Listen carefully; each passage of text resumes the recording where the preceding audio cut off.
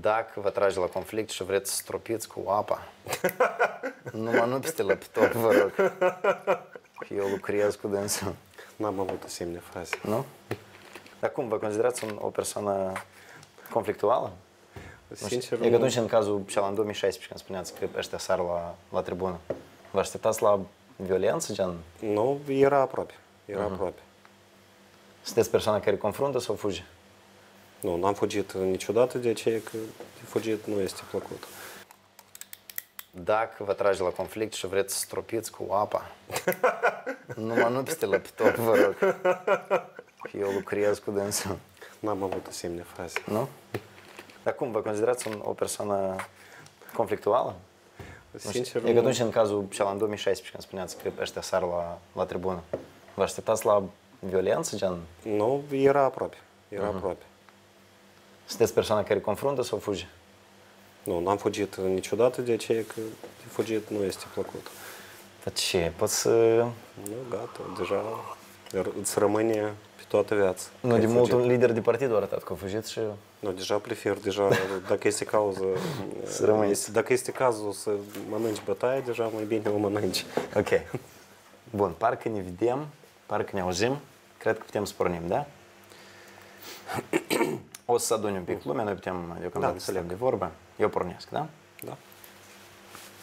All right. Go live. Și acum ideal ar fi să, să mă focus dau niște share-uri. Lumina. Așa, așa arunc profilul meu. Ok, suntem. Calitatea este. Uh, copy. Link. PSRM o să distribuie acest video? Sau partidul nu se mândrește cu un asemenea interviuri? Distribuim nici probleme. Ok. Bun. Aici o să încercăm să facem loc pentru întrebări la final. Iarăși, în caz că sunt decente și încap în uh, gură, le citem. În caz contrar, avem uh, discreția să, De să, ce de dumneavoastră? să trecem alături. Eu, Uh, eu nu pe mă alături. tem de întrebări provocatoare, dar rămâne la discreția dumneavoastră. Dacă nu e mat pe mat, cred că se poate evitat, nu? Ne-ați puteți să permit, sunteți un om liber. Of, Doamne! Câtă libertate la sediul Partidului Socialiștilor. Bună seara, prieteni! Noroc! Suntem deja, iată, o sală de, de spectacole, cum s-ar spune. Haideți să luăm asta să nu ne sustragă. Iată așa, iată așa. Știți ce am vrut eu să, să avem, de fapt, pe ecran? Eu am vrut să avem, să avem asta pe ecran. Și asta, de fapt, un articol care mie tare mi-a plăcut. Așa? Cred că dumneavoastră vă mai amintiți. Da. Un interviu pentru Europa Liberă. Dați în minte. A. Era o perioadă destul de... Fierbinte. Eu o să încerc să fac, și puțin vreau acum să testez să văd dacă telespectatorii îți vadă asta sau nu. Dacă eu fac așa, eu cred că ei ar putea să vadă... Da, ok. Deci mai târziu poate ne referim și la asta. Ok. Prieteni, hai încă o dată să confirmăm. Sunteți pe loc? Noroc. M-aș bucura să vă salutați, să spuneți de unde sunteți, ca să înțelegem care e geografia celor care ne urmăresc. Poate ne urmăresc oameni din uh, Luxemburg uh, sau dintr-o arie foarte îngustă a orașului Geneva. Și atunci nu știm, poate vrem să facem, știți, să targetăm într-un fel mesajul acestei emisiuni. Pentru prima dată, eu sunt alături de uh, domnul Vlad Bătrâncea, care este jurist de profesie, corect am înțeles?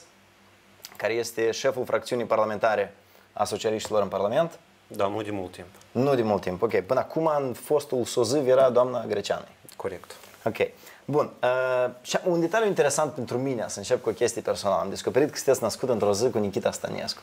Mm, Știați de asta? Nu, n-am știut. Dar îl cunoașteți pe Nikita Stănescu? Sau operele lui cel puțin? Pe dumnealui cred că deja... Sincer, nu pot să spun că cunosc, uh, mă rog, bine, bine operele lui, dar... Dacă, dacă aveți șansa vreodată să cunoașteți sau să vă confruntați cu operele dumnealui, tare recomand. Pe mine asta o leacă m-a apropiat. Eu nu prea cred în zodii, eu știu că sunt oameni în partid care cred o leacă mai tare în zodii decât mine. Eu cel puțin am auzit. Nu știu, dumneavoastră credeți în zodii, una alta? A, sincer, uh, Iată câți vodolei vă înconjoară. Ați calculat Sincer, vreodată? mi-a părut cândva că astea sunt niște, mă rog, invenții, dar uh, în ultimii ani, în mod special, atrag atenția că într-adevăr ceva există. Ok. Și, bineînțeles, există diferite interpretări, de, diferite aprecieri, dar într-adevăr există și careva lucruri care nu pot uh, să se întâmple întâmplător și uneori chiar am văzut când avem un coleg, de exemplu, deputatul Alexava, Ok. din Fălești, uh, care de mai mulți ani se ocupă cu a- astrologie și uh, periodic vine cu diferite, mă rog, cu diferite Gen, vine cu sfaturi? Să nu faci asta că e... cu diferite pronosticuri, Aha. chestii și chiar uh, în anul 2014 domnul a spus, era a ocupat la poziția 25-lea în uh, lista noastră și a 25-a și a spus că el va nimeri va ajunge în Parlament. El asta și, a prezis. Da, și lista s-a oprit la dânsul. Am luat fix 25 de mandate. Wow! Oleg Sava, specialist în, în astrologie, membru a partidului... Acum el este în Parlament? Da, este. Da? El, Ales- el a câștigat circumscripția Fălești. Pe Fălești a câștigat. Ok. Făleșteni, prieteni, dacă ne urmăriți, cine mai crede în horoscoape, alăturați-vă acestui live, dați un share. Pe final, așa cum i-am pro- propus și i-am promis uh, pe invitatului nostru, o să încercăm să dăm citire la câteva întrebări pe care voi le lansați uh, mai jos în comentarii. Din câte am aflat de la dumnealui, el este descris spre mat pe remat, dar vă recomand să rămânem în limita decenței. R- Iarăși, rimele la nume de familie, deja le, le cunoaștem, asta nu e tare original. Azi e o zi super plină din punct de vedere social, politic, la capitolul noutăți în Republica Moldova. Eu nu știu în general dacă cineva, există măcar un om cu cetățenie moldovenească care a reușit în perioada, să zicem, 4 iunie și ce e azi, 4 iulie, să, să citească și să urmărească toate știrile. Da. Eu nu știu, poate voi aveți oameni în partid pe care îi puneți special sus, băi, te rog, brifuiește-mă, spune ce s-a întâmplat, că eu n-am reușit să citesc azi 25 de titluri. Dumneavoastră știți azi câte demisii au avut loc, câte pagini are raportul Kroll, Nu, da, bineînțeles că eu cel puțin tot nu țin minte o asemenea, o atare perioadă așa de activă și bogată la diferite evenimente și chiar uh, această, așa zisă, mulți spun că um, această, aceste evenimente au fost de fapt o revoluție și care a produs multe, multe evenimente. Eu de fapt nu consider aceste evenimente drept revoluție, de aceea că de fapt uh, uh, s-a creat o majoritate parlamentară legală, legitimă, și, dar uh, într-adevăr sistemul practic, uh, sistemul acela care s-a construit în mod special pe parcursul ultimilor 10 ani, a produs multe evenimente și am văzut uh, multe dis- demisionări, uh, demisii uh, m, așa zise de onoare. Eu nu consider că uh, în aceste acțiuni a fost multă onoare, însă, într-adevăr, și Credeți mulți, că trebuiau mul- să mulți demită mai devreme? funcționari care s-au ținut foarte ferm de Da. fotolile lor, indiferent de clasă politică, au înțeles că a venit uh, schimbarea și au înțeles că mai bine este să plece benevol. Bun, noi avem cazul unor funcționari sau demnitari care s-au ținut de fotolii și care, eu tare sper, riscă să fie pe banca învinuiților într-un dosar de uzurpare. Cu părere de rău, Există. noi, uh, da, Voi munciți la asta. Sunt multe așteptări din partea oamenilor. Într-adevăr, oamenii au dorit uh, asemenea evenimente și, într-adevăr, perioada era destul de bogată la, la schimbări, în opinia mea, pozitive, pozitive însă uh, nu am reușit să facem încă foarte mult și, la sigur, eram foarte limitați în timp. În primul rând, ceea ce ține de Procuratură Generală, că înțelegem foarte Dar de ce bine. spuneți erați? Încă mai sunteți. Că n-a trecut mult timp de când, Da, să e- zicem, este... este... Ok, e- Dar oamenii în toată ziua ne întreabă că când, când iată, acela va, fa- acela va face pușcării, când va fi atras uh, eu nu, vă, nu acela vreau să vă sau- întreb când, eu vreau să vă întreb dacă, nu când, dar dacă va veni acea zi în care noi vedea, vom vedea un grup X de oameni, printre care și foști miniștri, șefi de cabinet, care vor fi pe banca acuzaților pentru că ei n-au cedat fotorile. Pentru că s-a constituit o majoritate parlamentară și trebuia transferat puterea, dar câteva zile la rând, oameni ca Pânzari spuneau că ministrul meu este domnul Juzdan. Uh, nu știu care deputat uh, era cu, fost deputat, era cu chepcă Bentley și apăra procuratura de oameni, oameni vers. O să fie așa ceva? Vă aduc un exemplu. Uh, Istoria aceasta cu furtul bancar, furtul miliardelor, la sigur, atunci când vom avea o procuratură, nu vreau să spun cuvinte tari, liberă sau...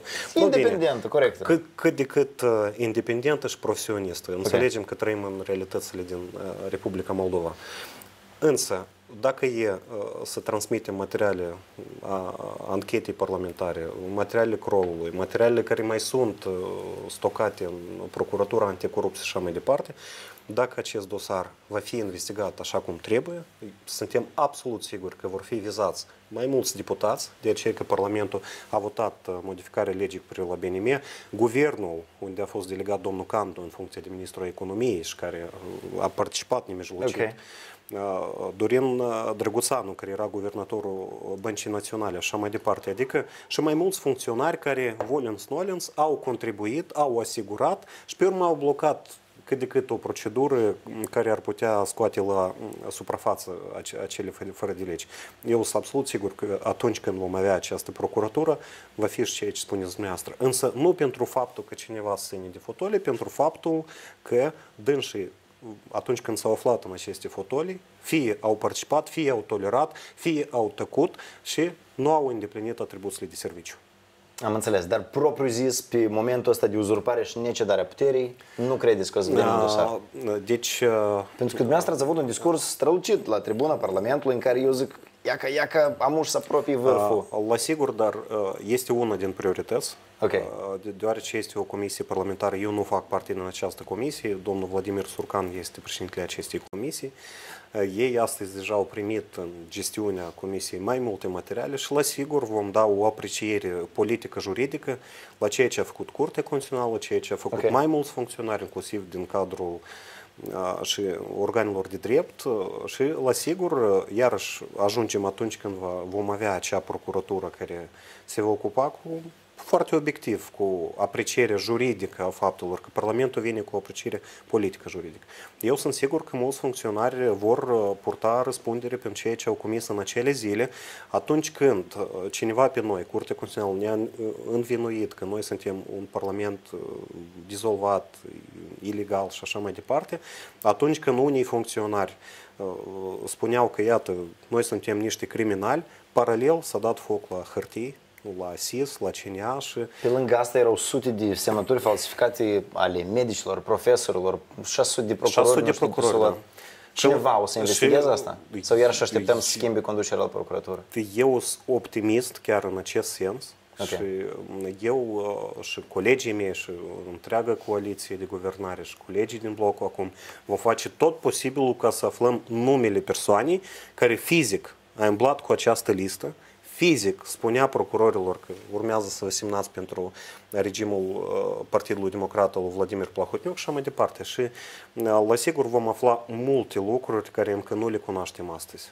Poate nici n-au umblat fizic, nu știu, eu nu cunosc tare multe, dar din experiența mea când Plahotniuc anunța moratoriu pe închidere de școli în 2017, se falsificau semnăturile unor părinți care susțin uh, și erau sute de semnături, public a trâmbițat despre asta și după asta veneau patru copii la școală. Așa că eu nu cred că era tare mare chin pentru noi să falsifice asta și să fluturi pe la, pe la media holding. Probabil, însă noi vrem să știm fapte. Noi vrem să vedem fizic pe suport de hârtie această listă, vrem să vedem aceste semnături, vrem să aflăm dacă într-adevăr aceste semnături aparțin.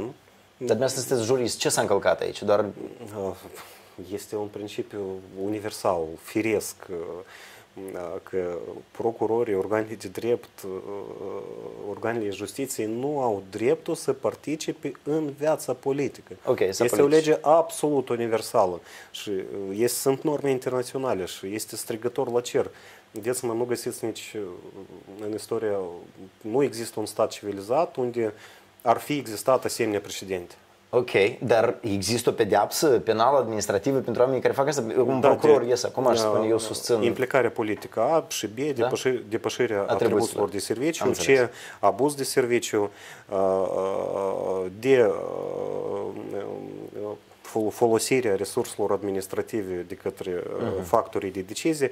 Adică, într-adevăr, aici, dacă e să, o să fie un procuror, iarăși, nu, nu vreau să vin cu... Deci legea procuraturii atât de, atât de tare favorizează verhușca procuraturii, încât noi așa de tare depindem de acest nu, om? Nu legea. Că, crede, credeți-mă, Andrei, că la noi, de fapt, dacă e să ne referim strict la legislație, norma legală, legislația noastră este bună. Altceva că ea nu lucrează și altceva că la noi există într-adevăr supunerea. Eu Vedeți-mă cum sună asta. Bă, acest băiat este frumos, bă, căsătoriți-vă cu el, dar este impotent. Legisla... Cum, cum adică? Așa și se primește că am avut institu- instituții de stat impotente. Adică procurorii care veneau. Aduceți-vă aminte uh, fraza acea, acea, acea istorică a domnului Viorel Chitraru că raportul Crowell este biletristic și noi cunoaștem mult mai multe decât ceea ce este scris în raport. Aha. Și la sigur, și procurorii, și judecătorii, și mulți, mulți, mulți, mulți oameni implicați în proces, inclusiv și angajații băncii naționale, știau despre acele evenimente care au avut loc. Și, bineînțeles, dacă să ne referim la contrabandă, știa toată poliția de frontieră, știa, știa, știa vama, știa mult Noi aici deocamdată suntem la nivel de acuzații. Cel puțin la capitolul furtul miliardului și crol, iată aici chiar aș vrea să ne oprim. Astăzi s-a publicat raportul. Ați reușit să-l citiți? L-ați văzut a, înainte de publicare? Eu, sincer, l-am frunzărit. Primit, privit, l-am primit, l-am privit la orele 11 și 40 astăzi, deja la 1, el a fost publicat și întreagă mass media, mass media l-a preluat. Sincer, chiar este lectură pentru mine pentru această seară, deoarece noi am avut astăzi mai multe ședințe a biroului permanent, a comisiilor parlamentare și eu pur și simplu fizic n-am, n-am reușit uh, să fac cunoștință. No, eu cred că Doi, noi, noi, noi, noi, noi l-am primit în limba engleză din ceea ce cunosc. Deja, deja a fost tradus și limba de stat și în limba rusă și la sigur, la sigur o să facem cunoștință. Însă, ca să vă informez și pe dumneavoastră și pe oamenii care pe noi ne privesc acum, noi avem un text a raportului fără lista persoanelor implicate. Nu la doar acest... asta, chiar și în raport sunt chestii hașurate, acoperite cu alb. La acest raport sunt anexe și dacă e să privim ceea ce a declarat astăzi cetățeanul Harunjan cu cetățean Adriana Bețișor, ceea ce pentru mine este o sfidare și pur și simplu, nu știu, eu chiar m-am așteptat că ei vor veni cu ceva mult mai consistent. Okay. Și ei pur și simplu, la mod general, au vorbit că s-a făcut un volum de lucru nebun, dar nu s-au referit nici la un rezultat concret. Dar puteți să explicați o chestie și, protocolară? Și la fel despre raport Kroll, domnul Harunjan a ieșit la presă în uh, ochii lumii doar ca să ne uh, convingă că ei, Doamne ferește, dacă vor scoate public măcar un cuvânt din raportul Kroll. Și spun că Harunjan și mai mult a spus că nimeni nu vrea să uh, ieri răspunderea asupra lui și să-l publice. De aceea că el a costat sute de mii, chiar milioane a vorbit Harunji. Okay. Păi așteptați, acest raport a fost plătit din banii publici, da. a fost plătit ca întreagă societate, tot poporul moscovaț pentru cuvinte tari, să afle ce s-a produs. Și deci ies un funcționar public, chiar și procurorul general, care, nu care nou ne spune că el, el nu are permisiunea din, din partea companiei Kroll. Compania Kroll este o companie privată de audit. Noi asta am înțeles. Eu știu, că a mai vorbit și domnul Slusar astăzi la conferința da, de presă. văzut. Și a fost întrebat de ce și cum, de ce BNM-ul sau de ce Kroll n-a vrut să fie publicată. El a explicat că adesea Kroll recomandă asta pentru că are свои соображения eu până la capăt nu le-am înțeles, dar niciodată Kroll nu a impus să nu fie publicat, pentru că e de teapa statului care a plătit pentru acest raport. Corect. Dar o chestie de protocol care eu vreau să o înțeleg, iată, BNM-ul plătește Kroll-ul să investigheze. Kroll-ul livrează raportul în format PDF, pe mail, nu știu, tipărit, aurit. De ce uh-huh. noi îl vedem în format scanat și îl vedem cu anumite zone hașurate și fără anexe? Asta înseamnă că nu este publicat raportul Kroll, este publicat raportul Kroll cu anumite lucruri acoperite. Cine a fost cel care a hașurat? Cine e cel care dă Andrei, eu, publish? Eu n-am să descoper, descoper nimic nou nici pentru dumneavoastră, nici pentru spectatori, deoarece astăzi Procuratura Generală și Banca Națională mai este condusă de oamenii delegați de către Partidul Democrat. Partidul care a controlat uh, de întreg statul Republica Moldova și care a făcut tot posibilul ca A, să tergiverseze situația aceasta, B, să nu producă o adevărată anchetă, C, să nu atragă în mod real, practic, asta spune nu doar Corol, asta spun tot experți din afara țării, că în primul rând urmează să fie evoluate acțiunile, mă rog, persoanelor responsabile. Okay. Și, și normal că astăzi Banca Națională a văzut textul raportului și a selectat într-un mod deci BNM arbitrar. era ultimul care a transmis deputaților sau procuratura? Procuratura, dar procuratura face trimitere la Banca Națională, că Banca Națională este acea instituție care a decis ce, ce poate fi publicat și ce, ce nu poate fi publicat. Dar noi nu, nu avem capacitatea astăzi să venim cu câteva concluzii, nici eu, nici domnul Slusar, nici altcineva, de aceea că noi nu cunoaștem întreg tablou. Dar ce, de fapt, la, la ce concluzie a ajuns raportul Kroll? Da, din punct de vedere legal, BNM-ul mai are o instituție care e deasupra ei și care poate să impună să facă nu. ceva? Banca Națională este vacă sfântă, scuzați, okay. în sensul că se bucură de autonomie absolută și asta tot este o normă universală. Noi dar trebuie să spunem mulțumesc pentru ce avem și nu, nu putem să cerem mai mult. Dacă nu. Acolo sunt hașurate zone Noi în care scrie... avem Procuratură Generală, avem instituții de drept care sunt obligate să constate încălcări penale, okay. să pornească urmărire penală, anchetă și să iasă cu învinuire cu care merg la instanță de judecată și mai departe. Deja, îi obligă să Da, Procuratura Generală poate atrage la răspundere orice funcționar, indiferent cine este acesta. Poate atrage la răspundere, inclusiv guvernatorul BNM pentru acțiunile sau inacțiunile comise de el. Okay. Prieteni, și... eu nu știu cine de voi sunteți la curent cu asta, dar mie pur și simplu factologic când era curios cum se întâmplă asta. Cum și prin ce mâini trece raportul și de ce el este hașurat, de ce el este incomplet publicat.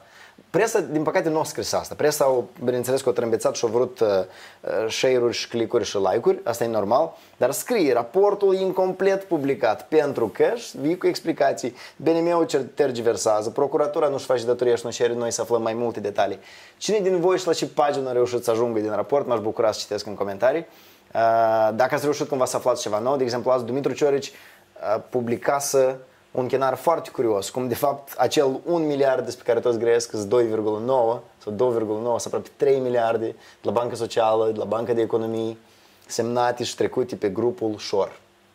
Nu se vorbește despre individul Șor, dar despre persoana juridică, cum a vorbit și doamna Bet Șor. Da, grupul băncilor Șor. Uh, iată, ok. Uh, cum crezi, merită citit raportul ăsta? Sau la cât s-o grăit și la cât de mult lumea știe cine este vinovatul, cine este vinovat și cine El uh, merită a fi citit. Uh, bineînțeles, uh, de ce? Că societatea, de fapt, oamenii și-au plătit acest raport. El are careva idei generale, dar până la urmă noi vom insista ca oamenii să primească în, întreg raport, inclusiv cu, cu, și cu lista oamenilor care au participat. Dar cum o să mergeți? Eu sâmbătă trecută, vinerea trecută, am fost la Orhei. Și am întâlnit destul de mulți oameni treji, am filmat câteva secvențe, treji în sens de alcoolemie și treji în sens de conștiință, dar am întâlnit unii domni, doamne care probabil erau încă destul de convinși că Ilan Șor face drept ceea ce face și, așa cum aș cita-o pe o doamnă, Maia Sandu cu Andrei Năstase îl sapă pe Ilan Șor. Eu am întrebat ce înseamnă sapă, eu am spus că îi pun sechestru pe proprietăți, și eu zic, de fapt, asta procuratura face, zici, a, da, mi s-a părut că asta mai e Sandu. Pe lângă tăta, toată cașa de dezinformare asta, există cineva care o să-și bată capul ca azi un tip pe, pe net propunea o idee foarte grozavă, să, să se meargă la Orhei cu o sinteză măcar acestui raport și cu o farfurie de hrișcă și cu o bancă de tușoncă Păjalăsta, veniți, vă rog, și luați această foiță. Cine a binevoie a citească printre asta? Cum aveți de gând să mergeți în lume să explicați acest lucru? Păi, bineînțeles că dumneavoastră aveți dreptate. Noi avem acea realitate care o avem. Tactica regimului trecut era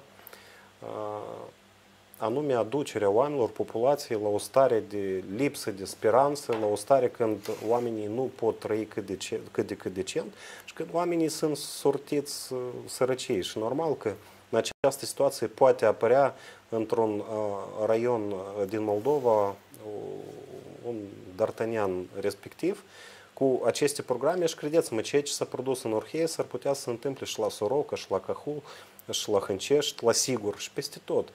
Și oamenii, într-adevăr, văd doar ceea ce văd fizic și deseori cu prilej de rău este poate și mentalitatea noastră autohtonă, locală, că nouă ne este important cum e pe strada noastră, cum trăim noi cu vecinii și ne este mai puțin interesant ce se produce în, toată țara. în raionul vecin sau mm. da, în toată țara. Cu cei din Orhei am discutat tot de mai multe ori și am explicat, am încercat să explicăm prin o metaforă așa mai simplă, Închipuiți-vă că sunteți o familie cu 12 copii și întreaga familie a fost furată, deposedată de casă și după asta vine, vine hoțul și e din 12 copii unul, un copil, îl face fericit și după asta un copil vine în familie și spune, da, nu, în realitate hoțul acesta este un om decent. Bineînțeles că există, există și un fel de lipsă de această analiză obiectivă în orașul Orhei, avem acea realitate care avem atunci când încercăm să explicăm. Uitați-vă. Eu nu m-aș opri doar la Orhei, n-aș vrea să, să alegem orașul Orhei și spunea că Orhei e bubar răutăților. Nu sunt și, vinovați cei din Orhei. Și cred că sunt nevoit, nu să vă opresc, dar și eu să fac o remarcă. Unii ar zice că e whataboutism, dar în acest moment eu vorbesc cu Vlad Bătrânce, care reprezintă Partidul Socialiștilor. Partidul Socialiștilor are cel puțin două televiziuni, eu așa știu care sunt foarte apropiate. Eu știu de Accent TV și în hol aici jos e Accent TV, nu la televizoare. Și eu știu de NTV Moldova. Noi nu o să probăm, am și această discuție, nu o să fie pe marginea acestor subiecte, pur, dar... Pur și simplu o mică când... remarcă, partidul nu are nicio relație juridică cu aceste televiziuni.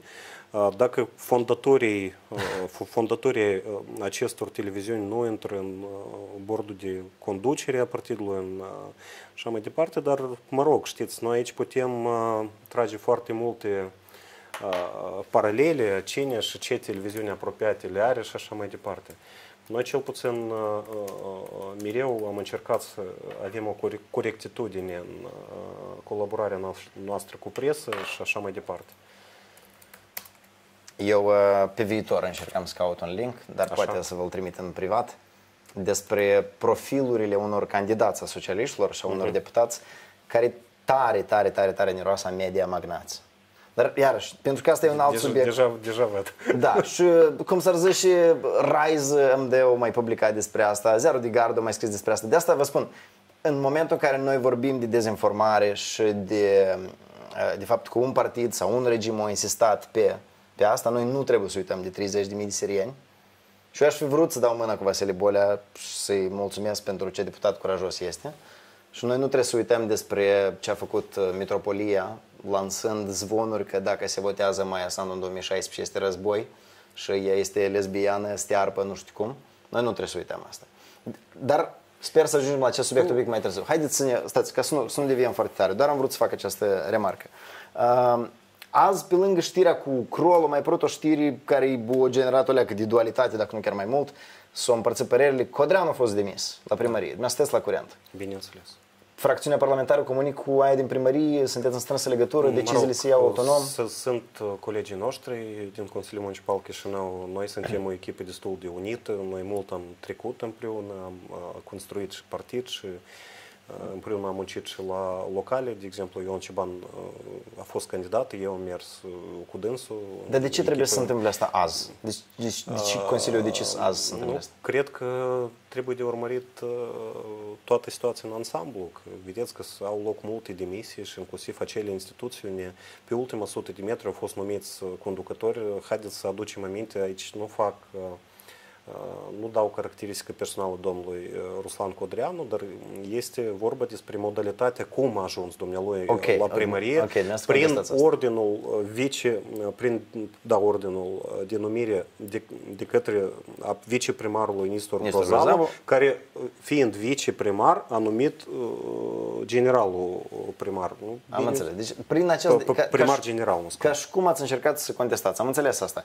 Întrebarea e dacă asta cumva face din agenda despre care dumneavoastră vorbeați, despre care vorbești, vorbesc reprezentanții acumului, agenda de dezol, dezoligarhizare. A, a, această conducere a primăriei, haideți să, faci, să fim foarte obiectivi, a fost interpusă de către PD și domnul Nistor Grozavu, care avea zeci și are zeci de dosare penale. Prin asta au fost uh, manipulat uh, de către Partidul Democrat. Față de Nestor Grozav, am- eu, eu am o afecțiune specială, dar Ruslan Codreanu nu l-ai auzit niciodată spunând ceva pro-PD, nu l-ai auzit făcând declarații Domnul politice. Codreanu are uh, uh, absolut toată libertatea în acțiuni să meargă în campania electorală pe cont propriu, să fie candidat la primar general și să încearcă în mod democratic, cât de cât democratic, creștind din condițiile în Republica Moldova, uh, să devină primar general. Dar de ce nu l-ați mai Însă lăsat până în eu, octombrie? eu, eu chiar uneori mă mir. Eu nu aș avea atâta, nu știu, cum, Tupeu? să- cu, cu, cu, cum spunea Timofte nu știu ce, Ah. uh, ca uh, nefiind ales să spun, să ies în fața presiei, în fața întregii societăți, spun că eu, primarul general al municipiului Chișinău, dispun asta, asta sau asta. Uh, Mă rog, dumnealui a fost ales uh, în Consiliul Municipal Chișinău. Ok. Eu Ceea ce s-a personal nu produs prea mă mai interes- departe. Ceea ce s-a produs mai departe nu este sănătos. Noi totuși uh, încercăm să construim uh, o societate cât de cât democratică și uh, cu, eu pot să vorbesc multe despre domnul Dorin Chertoacă, cum a condus, cum a administrat, pot să vă povestesc mult și bine despre scheme apeleului, însă uh, trebuie să recunoaștem un lucru, că dumnealui a venit prin alegeri. Bine, în 2011 erau diferite, uh, diferite chestii uh, Ce anume? electorale. Nu, eu mă refer aici la falsificări. Că, În favoarea lui Dorin Chirtoac. da. Da, și atunci el a fost acceptat de către PD. Eu personal am fost la instanță uh, în, în, în, Vreți să spuneți că în 2011 trebuie să câștigi Dodon primărie? sunt absolut sigur. Eu nu că vreau După să numărul spun, de eu, eu asta o cunosc uh, și cunosc uh, foarte bine că atunci era încă domnul Sergiu Sârbu, juristul Partidului Comuniștilor și împreună cu, cu Sergiu Sârbu am depus uh, o contestație la judecătorie sectorului centru cu materiale pe 125 de foi, materiale video, foto, cu date foarte concrete și exacte. Și țin minte și astăzi cum în 15 minute a fost examinată uh, această contestație, fără ca noi să fim uh, audiați și uh, pur și simplu a fost respinsă contestația noastră ca nefondată, fi, fără a fi examinată. Și ne dăm seama cine a controlat în 2011. Mm. Ok, eu nu vreau să sap așa de adânc acolo, dar... Nu bine, în tot cazul, domnul Dorin Chertoacă cel puțin a fost primar general ales. Ok. Deja circumstanță cum a fost ales, dăm într-o parte. Eu sunt sigur că sunt oameni care răspune despre uh, domnul Igor Dodon la președinție la fel. Nu, mă scuzați, peste 800 de mii de cetățeni care au votat, uh, asta este un număr absolut record pentru orice politician, partid politic din Moldova. Da, exact. Dar e turul 2 la prezidențiale, mobilizare și așa mai departe, Nu. promovare. Nu, eu doar vorbesc despre, despre săpat în legalitate sau nu de alegeri. O- Obiectiv, dumneavoastră a spus de 30 de mii de sirieni. Dar mă scoați că noi am fost Ei n-au votat, învinuiți, apropo. c- când uh, noi am fost învinuiți că suntem mână nu știu cui, aducem tancuri, că noi vo- va fi al doilea Donbass la Chișinău. Cine- Uh, și uh, Cine erau, a lansat erau multe știri? lucruri. Cine a lansat știri că PSRM-ul aduce tancuri? Cine, uh, a, cine din persoane terțe a spus că dacă îl votați pe Igor Dodon o să fie război? Au fost memasuri, au fost glume, au fost fotojabe, ați văzut cum am eu fotojabe cu mine, cu Țuțuș și cu Dodon am o groază. Dar nimeni nu a lansat știri, nimeni nu a făcut știri la cel mai vizionat canal de știri, Prime sau cum se mai cheamă, și nimeni, în afară de Vasile Bolea și mulți alți oameni, nu a dat share la știrea de pe Prime despre 30.000 de sirieni și siri- sirienii și induși în eroare, intervievați la Facultatea de Farmaceutică sau unde mai erau ei. Și dumneavoastră credeți că chiar electoratul de dreaptă, intelectuale, au fost așa de uh, ușor manipulați? Da, de ce, noi să, de ce noi să numim că există doar electorat de dreapta? Nu, eu, eu pur și simplu vreau să spun că asta a avut loc. Eu consider, pot să vă zic că personal eu am uh, fost președintele comisiei grupului de inițiativă în acele alegeri. Eu știu că eu, colegii mei, am vizitat sute de întreprinderi, localități, am făcut fiecare coleg din echipă multe întâlniri cu alegători și noi mergeam nu cu sirienii, dar uh, încercam să convingem că domnul Dodon poate produce o schimbare, că iată care este calea lui, ce echipă el are. Și noi veneam cu un program și social-economic și uh, cu reforme în drept, nu, mă rog, pe urmă PD-ul a retras uh, competențele care le-au avut președinte, însă noi convingeam oamenii din alte puncte de Dar vedere. cum explicați dumneavoastră prietenia posturilor TV PD cu candidatura domnului Igor Dodon în 2016? De ce Partidul Democrat, de ce Plahotniuc ar fi vrut ca Igor Dodon să devină președinte? Eu nu pot uh, să vă dau o informație exactă că n-am urmărit această, cum dumneavoastră spuneți, prietenie. Deci eu... sunt, sunt rapoarte ale uh, Consiliului uh, Audiovizual? Probabil. Eu am lucrat mai mult în teren, am fost responsabil de lucruri organizatorice. Dumneavoastră n-ați remarcat asta? Eu, eu niciodată nu am făcut digest la știri și n-am urmărit și fizic n-am avut posibilitatea să urmăresc știri, că eu am cu totul alt, alt domeniu de activitate. Bun, atunci altă întrebare. Dar, dar a existat o prietenie dar, între PD și PSRM? Dar, dar această întrebare chiar trebuie să fie adresată PD-ului, care, care, care, care, dacă este ceea ce dumneavoastră spuneți, dacă asta se confirmă, este, credeți-mă. Atunci ei trebuie întrebați care a fost raționamentul lor. Deci dumneavoastră nu știți de ce PD-ul ar fi susținut un Igor Dodon la prezidențiale. Clar lucru că eu pot veni cu careva, okay. mă, mă rog, aprecieri personale, dar nu, nu știu cât de relevante ele vor fi. Am înțeles. Eu am revăzut recent o, o bucată de interviu cu dumneavoastră din 2017, înainte ca Comisia de la Veneția, iertați-mi cacofonia, Comisia mm-hmm. de la Veneția să pronunță asupra proiectului votului mixt. Așa. Și ei mă că analizau două și mixtul și uninominalul, nu? Da, Îi da, dădeau da. appraisal la ambele. Primul era examinat de către Comisia de la Veneția, uninominalul APD-ului. Dacă puteți pe scurt, pe mine să mă luminați și poate mai există cineva curios, dar pentru mine asta e o, e o bubă, ups, e o bubă mm-hmm. internă care încă mă doare. De ce Igor Dodon a ieșit la ramp și a zis că noi nu acceptăm uninominalul? Dar știți că când vine cineva la tine și spune, bea samagonul ăsta. Și eu zic, nu, mersi, eu nu beau, că slavolan. Dar el a zis, nu, nu vreau samagon, toarnă Hennessy. Deși el a propus alt, merge tare bine. Deci proporțional o aranjează foarte bine. Și din câte văd majoritatea parlamentară amu, merge spre reîntoarcerea fostului sistem electoral. 1. PD-ul a avut desensitor majoritate.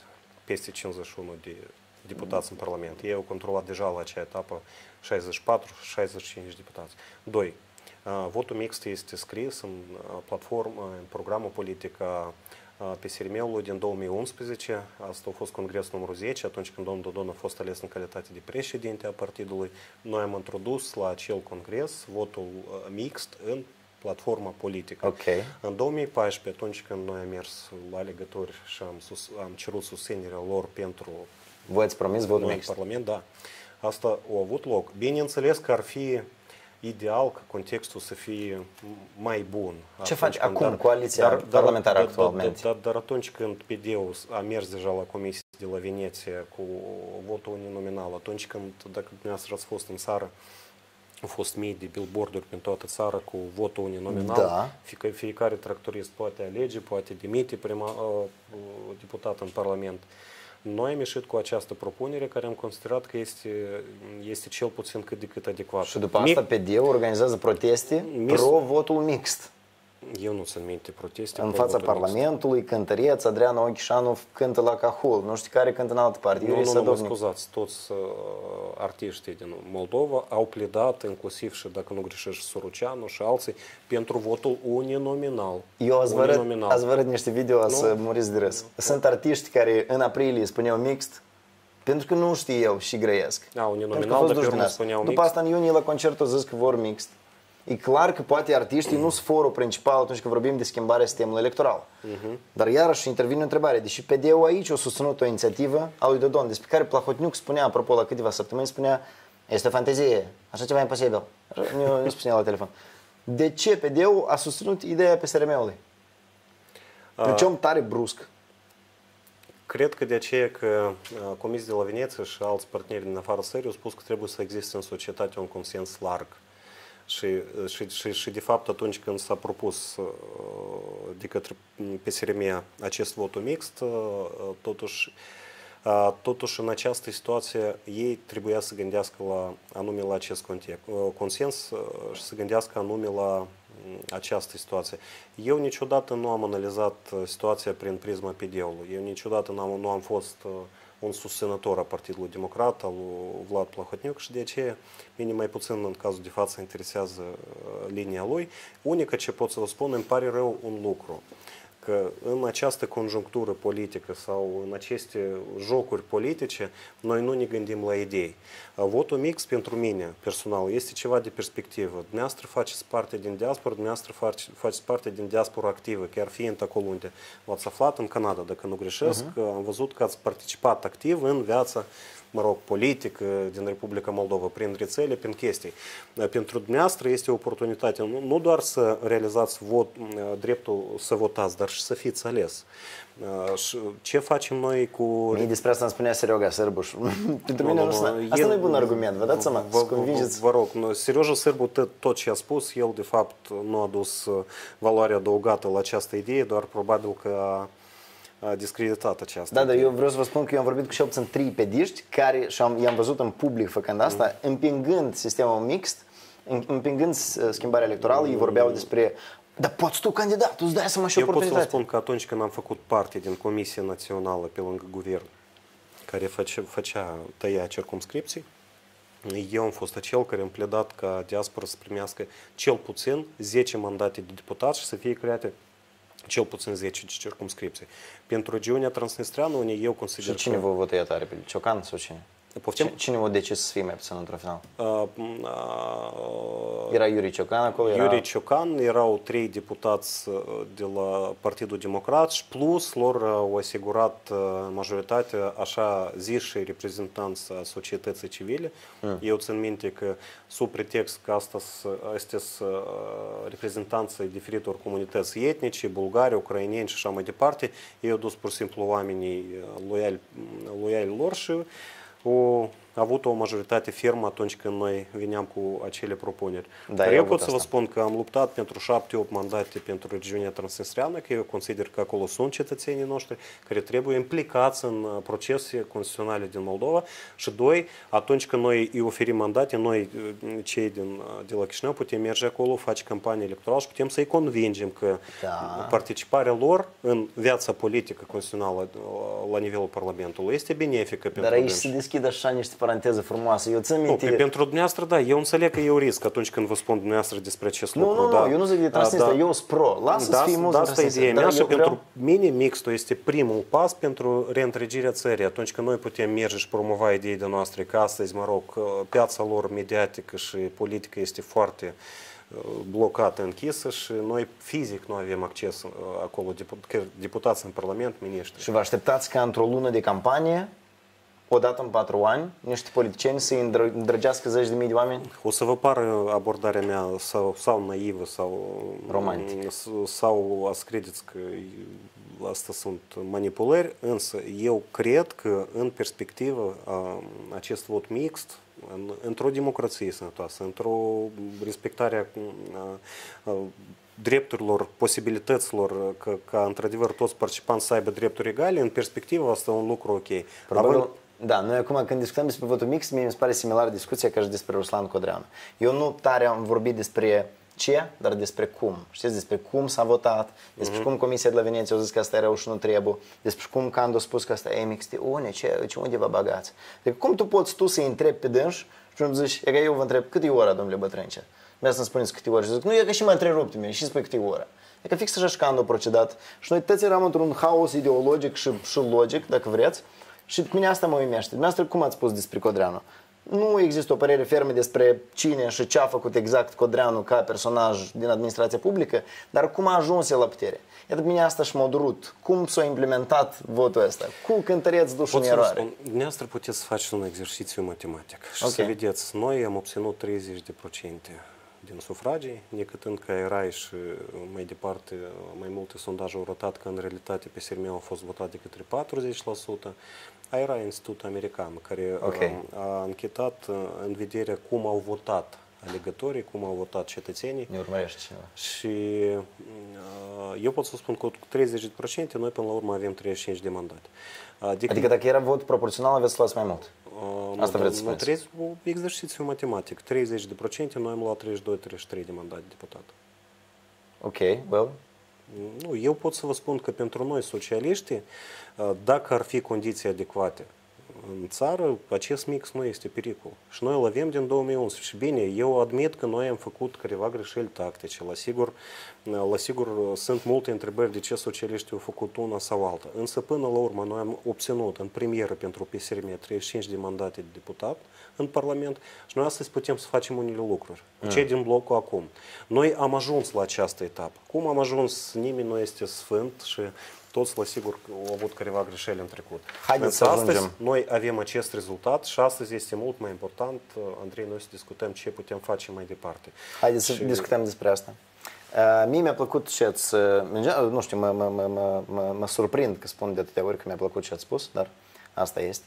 Mi-a plăcut ce ați spus anul trecut despre, nu, anul ăsta, da, d- după cum v-am arătat, în aprilie, și vreau să vă citez aici, trebuie să fim mai înțelepți, să facem fiecare un pas în urmă și, respectiv, să facem această coaliție. Spunea domnul Vlad Bătrâncea în contextul în care era intervievat de Europa Liberă apropo de o eventuală coaliție cu acum. Se întâmplă sau nu? Uh, Eu țin minte că socialiștii nu ia- numeau foarte naiv și copilăresc intențiile acumului. Acum, bineînțeles că era foarte încornorat și nu vrea să meargă la condițiile PSRM-ului. După asta erau tot felul de chestii de astea care se întâmplau, nu știu, la mine se întâmplau în clasa 7-8 când a, de fapt, eu primul te-am sunat. Nu, eu te-am sunat. Hai la întâlnire. Nu, hai tu la întâlnire. Și asta, voi sunteți oameni maturi. E atât de greu de ales un loc. Mergeți la Ștefan. E că sunt nori afară, nu-i cald, nu te bate soarele în cap. Mergeți la Ștefan și în- faceți întâlnire acolo. Ați în- întins niște corturi, ați pus niște vuvuzele, chemați băieții de la Ochipai Guguță, vă fac muzică și faceți acolo discuții. De ce atât de lung a durat ca noi până în ultimele clipe să vedem oameni aduși cu deasâla de PD, care spuneau că nu trebuie să fie anticipate sau pe urmă vreau anticipate, pe urmă nu, vreau, nu vor anticipate, ca într-un final să-l vedem pe Dodon Mesia Salvatorul care anunță că se întâmplă coaliția. De ce atât de mult a durat stabilirea acestor relații, aceste coaliții? Suntem foarte diferiți, într-adevăr, și bineînțeles că există anumite contradicții care, mă rog, cu o perioadă lungă de timp ne-au Vă rog să divizat, vorbiți un în, pic mai tare. ne-au divizat în tabere diferite și, într-adevăr, eu, în afară că sunt poate sunt naiv, idealist, dar eu sunt fatalist. Eu cred că uh, lucrurile evoluează așa cum, uh, Asta e interesant. cum, cum, cum, este, cum este firesc. Și orice situație trebuie să Trebuie să ajungem la această situație. Eu trei luni de zile am vorbit și foarte, foarte convins de ce că la noi, a, dacă e să vorbim despre partid, la noi absolută majoritatea oamenilor mereu au pledat pentru a, coaliție cu blocul acum, necătând că înțelegem... Oameni din partid sau Da, susținători? oameni, oameni din partid, susținători și deputați în Parlament. Am avut această dispoziție și asta s-o simțit tare. De ce că uh, Partidul Democrat deja a depășit orice mm, linii roșii și de bun simț și așa mai departe. Tot dumneavoastră în Parlament în 2018 spuneați că aceste alegeri din 24 februarie ar fi ultima șansă de salvare a țării. Eu nu, nu vreau să, nu mi amintesc exact cuvintele dumneavoastră, dar numeați aceste alegeri drept ultima șansă. Da. Și dumneavoastră vedeți cumva un scenariu da, în da, care... Haideți, hai, haideți foarte obiectiv. Dacă nu s-ar produce ceea ce s-a produs pe SRM cu acum, Plahotniuc în viață n-ar mai accepta ca matematic să putem avea eventual o asemenea situație în viitorul Parlament. Bun, deci ar fi distrus 70 de deputați, ce ar fi făcut el? Nu, nu, nu. Eu zic dacă ar fi anticipate. Ok. Dacă noi nu am... Deci el ar fi construit nu am un creat parlament din coaliție. 25 de oameni, doar drujoșii lui și... Uh, El pur și simplu, sau eu cred, eu sunt mai mult ca sigur că el ar scoate PSRM din campania electorală, ar găsi iar sub pretextul federalizare și diferite strașili finanțare și, externă? strașili și așa mai departe. Acolo unde uh, în video nu corespunde ni- nici sunetul cu video, dar as- asta e altă situație. Eu sunt absolut, eu sunt absolut sigur că el nu ar permite ca asemenea situație să fie repetată în următorul Parlament. Doi, uh, uh, mulți dintre cei care au încercat să, să facă ceea ce am vrut, mulți pur și simplu am uh, răspunde inclusiv și penal pentru unele lucruri inventate. Dar până la urmă eu pot să zic că în acele trei luni când am avut acele discuții cu acum, eu a doua zi după validarea mandatelor deputat, noi am ieșit după hotărârea Cursei Constituționale. Bine, avem 35 deputați. Noi am ieșit toți în corpuri la conferință de presă și am spus, noi mergem cu, la discuții cu blocul acum. Okay. Mai departe, să porni ceea ce povestiți dumneavoastră. Însă eu, de exemplu, cu colegul meu Ion Ceban, cu alți colegi, noi mereu am insistat, cei care am participat la nivelul tehnic, la nivelul discuțiilor tehnice, noi am vorbit despre o coaliție. Colegii din acum, din start, nu acceptau nici cuvântul coaliție. Și știți ce mă bucură? Că astăzi, după ce am votat în sala fără lumină, după ce am trecut prin pericol real, că erau emise și mandate de arest și așa mai departe, după asta, eu țin minte atmosfera în Parlament în acea sâmbătă și pentru mine era cel mai puternic din punct de vedere a emoțiilor, moment în 5 ani, aproape 5 ani cât sunt în Parlament. Și eu am văzut că după acele evenimente multe lucruri s-au schimbat și chiar acei colegi din blocul acum care erau foarte critici la capitolul că poate exista o coaliție de durată medie măcar, eu văd că și ei deja examinează că noi trebuie să prelungim această agendă și poate fi chiar pe, pe durata mandatului de patru ani. Domnul Dodon menționa recent că el are, intenționează să facă asta, sau cel puțin să propună asta, că e nevoie de încă o agendă, de încă un document pe care da, trebuie să-l semnați. Da, da. Acum eu vreau un pic să revin la fraza care a spus-o, că fiecare, e nevoie ca fiecare să facem un pas înapoi. Care a fost pasul înapoi făcut de PSRM? Și ați ce dat voi? Nu, în primul rând, noi ne-am detașat cu mult de la acea hotărâre a Consiliului Republican, care nu ne-a oferit mandatul pentru discuții cu blocul acum, noi am pretins la unele poziții cheie în guvern, cum este, de exemplu, Ministerul de Externe, Ministerul de interne, care noi am considerat că acesta este blocul atribuțiilor constituționale a președintelui și ar fi ok ca președintele să aibă conlucrare cu aceste, cu aceste ministeri. Noi am fost în cazul de față, nu că nevoiți, am acceptat-o. Am acceptat că înțelegeam care este situația și cum situația poate să degradeze. Am acceptat și astăzi aceste ministerii sunt conduse de reprezentanții blocului acum. Mai departe, noi am avut un gentleman agreement în Parlament atunci când, dacă dumneavoastră să analizați, astăzi blocul acum deține patru comisii parlamentare și noi socialiști trei. Decât că matematic proporționalitatea era total diferită. Noi urma să avem patru. Noi am cedat unele poziții, pur și simplu de aceea că colegii din blocul acum au spus că noi suntem două fracțiuni, suntem diferiți, noi trebuie cumva să menținem echilibru, noi trebuie să motivăm, mă rog, membrii okay. echipei și noi am acceptat și aceste lucruri. Și în acest punct de vedere, noi nu că am cedat de aceea că noi suntem, dar dacă dumneavoastră vă aduceți aminte cum se făcea o alianță în ultimii 10 ani, acea luptă pentru părghii, vorba lui Gimpu, okay acele discuții până la miezul nopții. Acum asta n-a avut loc, acum da, se, se decis mai simplu. Noi, noi, într-adevăr, am ajuns la o etapă când am mers mai mult pe principiu că trebuie să ajungem la numitor comun, trebuie să facem unele cedări și trebuie să uneori, de, de ce nu să ne refuzăm la ceea ce ar putea fi a nostru, doar de aceea ca să câștigăm uh, o perspectivă cât de cât și până la urmă și viitorul și a nostru și a țării. Eu pot să spun că am avut multe întrebări din partea echipei, activiștilor din teritoriu, în mod special, care ne întrebau, de ce așa, uh-huh. de ce noi nu avem careva poziții în guvern, de ce noi nu participăm în asta. Și încercăm să explicăm oamenilor, oameni buni, iată, aceasta este situația, aceasta a fost decizie și ea a fost corectă până la Ok. Eu să înțeleg că acum este și un moratoriu de a nu lovi unul în altul la capitolul politic, la capitolul concurență politică. Mai mult la capitolul ideologic.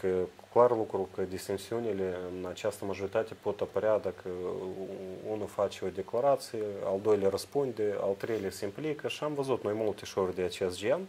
Și ok, domnul Țicu propune un minut de reculegere, ok, noi ne-am ridicat și e minut de reculegere. Da, cineva ne spune că s-a produs metamorfoză și cum de exemplu domnul Reniță, că, iată, suntem Comisie de Integrare Europeană și înseamnă că cu toții ne ocupăm. Ok, tac, înțeleg, necând că eu, după viziunile mele, mai mult sunt eurosceptic, da. Ok. Și eu nu văd uh, o perspectivă reală sau intenție reală din partea Uniunii Europene de a se extinde spre Est. Dar, ok, noi înțelegem că noi suntem ideologic mm, diferiți și am Dar introdus acest eurosceptic asta moratoriu. înseamnă și leaning towards the left? Adică vreți să faceți Nu, parte din... Noi avem acord de asociere. Dacă e să analizăm fără emoții și fără bla bla, acesta este acord de bună vecinătate Da. a Uniunii Europene. Sunt programe, ceea ce este interesant Uniunii Europene, cum trebuie să fie vecinii lor. Noi acceptăm de aceea că este posibilitatea pentru noi, cel puțin, a dezvolta ramura justiției, de a aduce careva tehnologie eventual și până la urmă a, a merge înainte în această formulă. Și, bineînțeles, întrebări ideologice care pot, pot fi, eventual pot apărea, iarăși ne, ne întoarcem la istorie, cine suntem, de, de unde venim. Dar Pentru dumneavoastră nu vă este- se pare că, scuzați că vă întreb, Da, da, vă dar rog. iată, această coaliție care s-a format, eu vorbesc cu un prieten, vorbitor de limbă rusă, care a votat, uh, știți cum sunt oameni care votează acum de nevoie și el a votat pe SRM de nevoie, pentru că acum nu suficient de mult a apelat la dânsul în campania electorală. Și eu zis, votez cu ăștia, că ăștia mai mult au comunicat în rusă și eu sunt vorbitorul de rusă și eu fizic am auzit mai multe mesaje în limba rusă. Acum, în momentul în care trebuia să se producă Marșul Poporului, Așa. duminică. El îmi spune, și bine ar fi fost dacă noi ne adunam să facem în premieră o adunare de două electorate atât de colorate, atât de diferite, atât de neîmpăcate până acum, ca să arătăm cu uite suntem împreună. Înțeleg că mulți vorbeau despre ciocniri, violente, riscuri și așa mai departe, dar în condițiile în care există această coaliție și nici voi, nici eu, nimeni nu știe cât ea poate să dureze, Credeți dumneavoastră că asta ar fi poate un început ca societatea moldovenească să înțeleagă că n-ar trebui să ne mai dezbinăm pe limbă, pe sexe, orientări, pe cultură, pe rădășini și n-ar trebui poate să ieșim cu steaguri sau hărți pe care le rupem în Parlament. Eu sper mult că, până la urmă, și clasa politică evoluționează. Noi mereu ne aflăm într-o dezvoltare și societate. Noi nimeni nu suntem sfinți, noi nimeni nu suntem au tot corect și puternici. Pentru societate, în opinia mea, este un pas înapoi ce înseamnă conlucrare pentru un scop comun. Că noi, într-adevăr, până ajungeam până la Bă, de ce absurd. spuneți că e pasă înapoi? E pas înainte. Pas înainte, mă da. scu- Pas înainte, mă scuzați. Astăzi a fost o zi mai complicată. Uh, Într-adevăr, este un pas înainte. Eu am primit două semnale și mie mi-a stat deosebit de plăcut. Un semnal de la Dag Hermes, unde, mă rog, sunt mai mulți uh, prieteni ai mei și unul a sunat și a spus, păi, noi atât ne-am certat în campanii electorale chestii, la noi fix 50 la 50, stânga-dreapta. Și atât după ceea ce ați făcut voi cu blocul acum, la noi a apărut mai multă răbdare, atenție, iată cumva am început să facem unii la alții lucruri uh, frumoase sau uh, am început a ceda și au spus că așa de plăcut să vezi cum oamenii uitat de problema limbii și mm. cele, călădăm și e fix jumătate la jumătate. Uh, Și este un colectiv foarte mare. Și era un asemenea semnal dintr-un colectiv mult mai micuț, n-a să vă spun nimic denumirea acestei întreprinderi, dar uh, uh, am dat un, mă rog, imbol societății în acest sens că uh, putem să unim eforturile atunci, atunci când trebuie să scăpăm de, de rău, de problemă mare. Nu, asta mai degrabă nu e o consecință planificată, dar e o consecință pe care eu tare aș vrea ca cei care azi alcătuiesc clasa politică să, cum se spune în engleză, to make use, să o folosească la maxim. Noi, mult mai ușor, și asta e clar demonstrat, psihologic, social, mult mai ușor îți dăm share la știri false, mult mai ușor îți dăm share la titluri provocatoare. Nimeni niciodată n-ați dă share la Hei, s-a împăcat un rus cu un moldovean în Taraclia. Ce minune! Nu mă interesează. Și acolo? Da, da, nu a spus, nu știu. Mai s-a spus. Asta e mult mai tare, apelează la emoțiile noastre, noi mult mai tare vrem să împărțim asta, vrem să ne dăm cu părerea, dar poate e de teapa celor care ia ca la tribune, sunt comandat de deputat, care să aibă șansa să călătorească prin toată țara. Să împingeți pastila asta a, a prieteniei, a solidarității, a faptului că noi suntem tot un fel de Canada, Elveție în devenire, cum vreți, dar la urma urmei trebuie să ne împăcăm de orice culoare am fi. Vom strădui. Este Promiți. o, o sarcină nobilă, o, dar nu este una simplă. Nu, dacă vreți, dacă dumneavoastră vă pare că eu spun, promit, eu cred că uh, facem un lucru mai important decât promisiunile care erau multe, deja realizăm unele lucruri și dă, Doamne, ca nouă tuturor să ne ajungă și înțelepciune și puteri de a prelungi această activitate.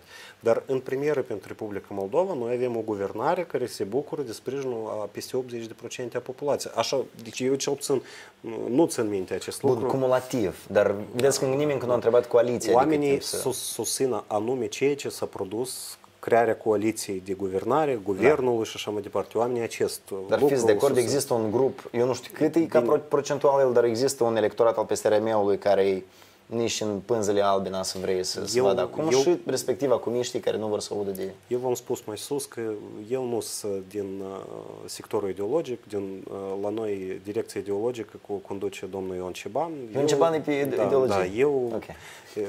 eu cu, conduc direcția organizatorică partinică. Eu lucrez mai mult cu picioare, teritorii, oameni și așa mai departe. Ideologie sau ieșiri uh, publice, de aceea că așa pur și simplu Înțeles. este situația. Însă, vreau să vă spun că absolută majoritatea oamenilor și semnalelor din teritoriul electoratul nostru agrea ideea de a face mm, coaliție cu blocul acum.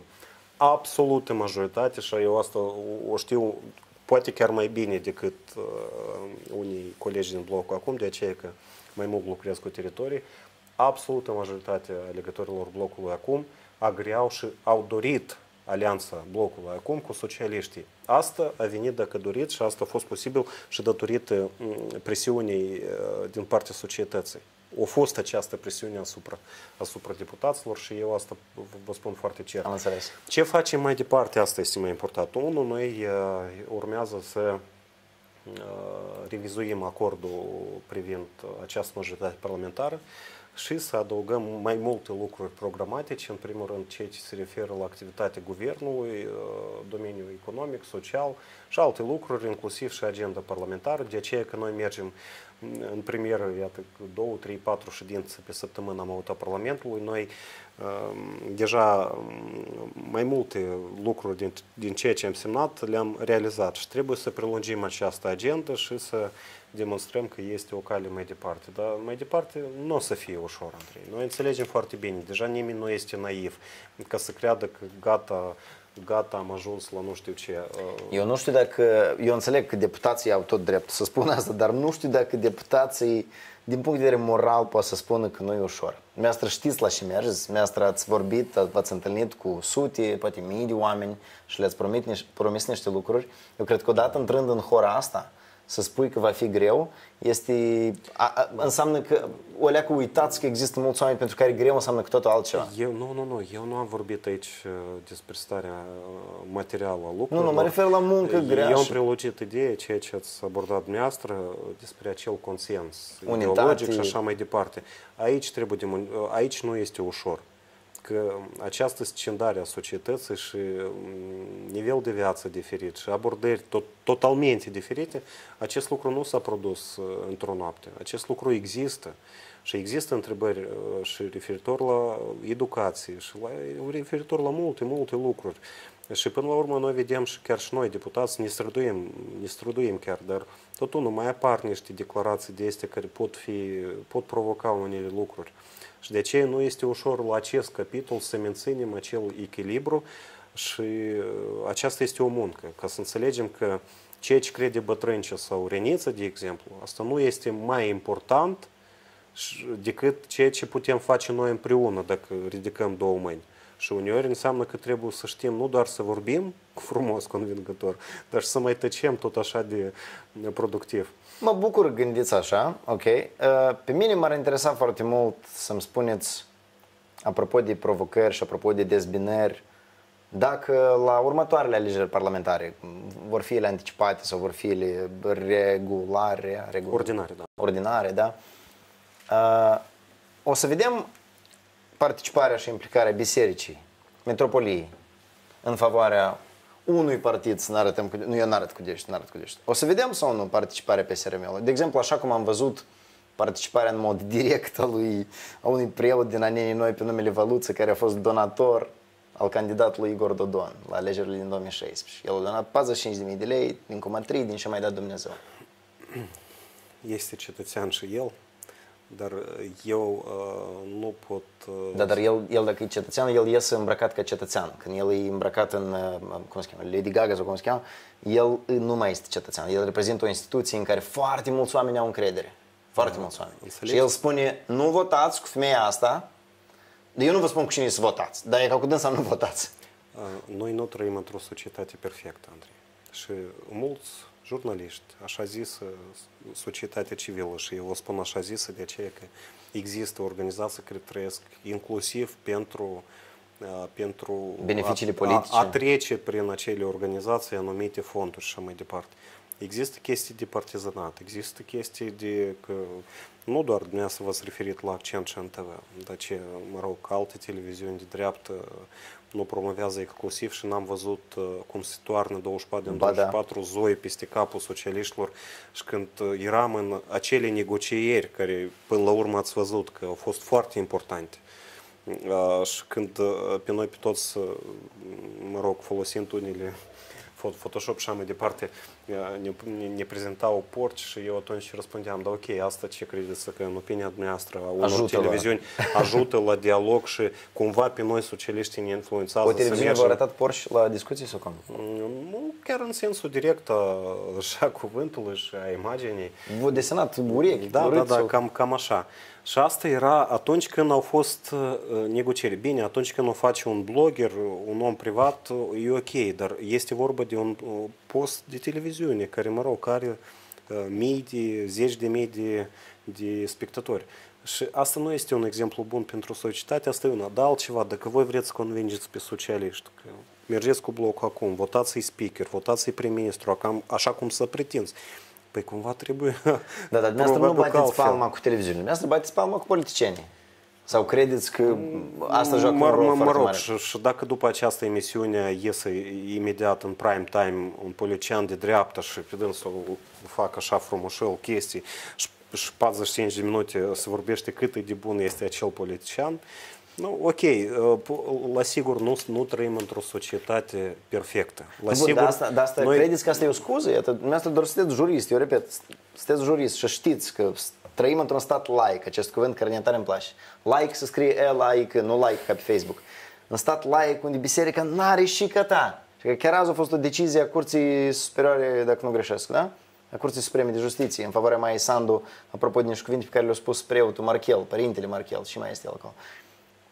Respectiv, noi trăim într-o societate, dumneavoastră spuneți, imperfectă, dar în care noi trebuie să tolerăm asta. Trebuie să ne așteptăm la iarăși noi episoade de biserică care va susține un partid politic?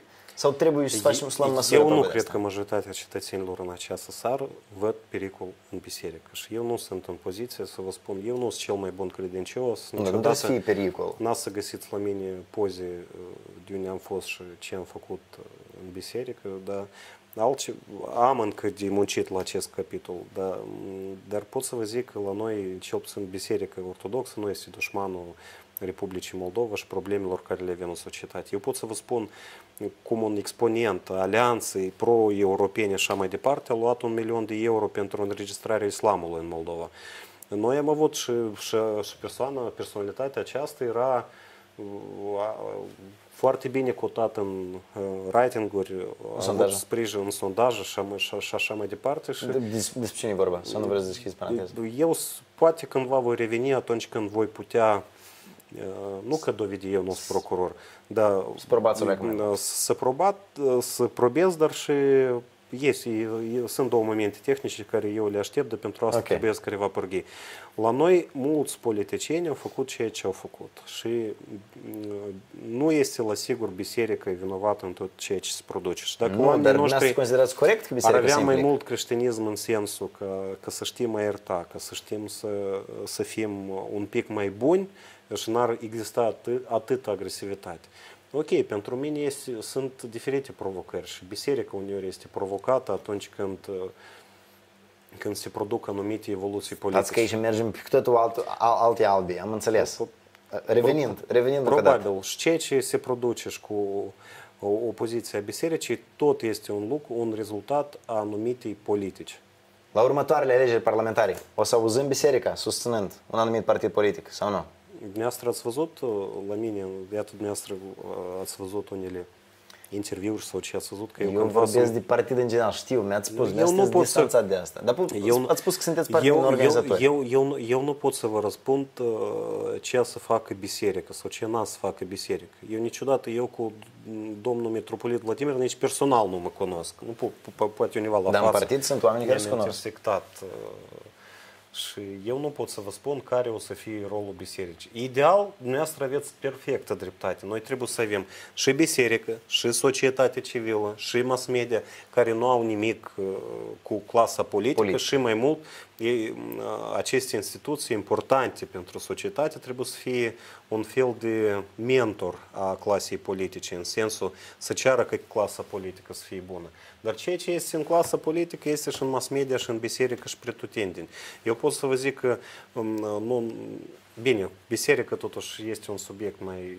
uh, Că eu po- pot să mă refer și la alte cazuri. Eu pot să vă zic că și personal cunosc în raionul Călăraș, în raionul Orhei, uh, chiar și în anii noi, preoți care au umblat cu foi volante pentru partide de dreaptă.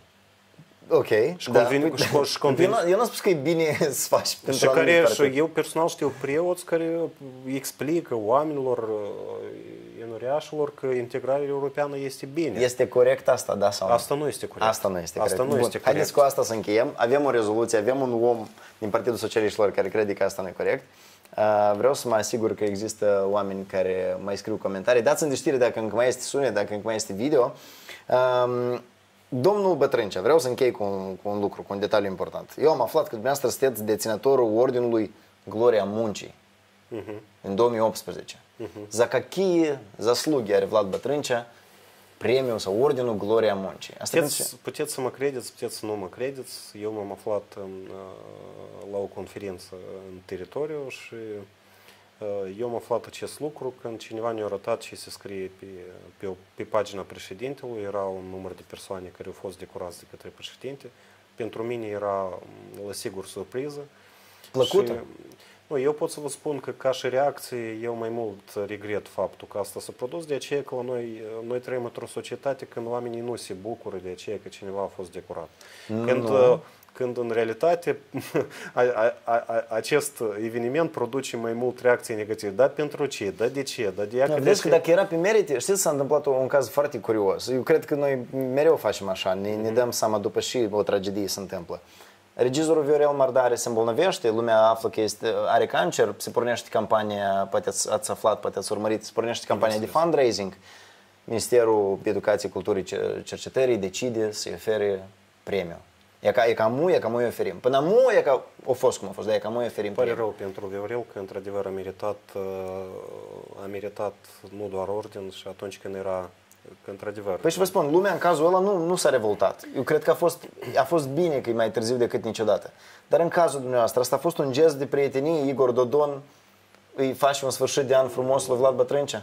Ce înseamnă premiul, ordinul ăsta? Apropo, Vă- este o sumă de bani care vi se oferă sau Uh, nu? Nu, nu se oferă nicio sumă de O bani. medalie, o... aici. Uh, nu se aveți acces la cluburi din nou și vă oferă premiul ăsta. Uh, Eu niciodată n-am purtat acel ordin. Uh, Atunci când l-am primit, l-am dus acasă. El e o chestie s-a aflat fizică? lângă cărți. Da, da, da, el e o chestie fizică.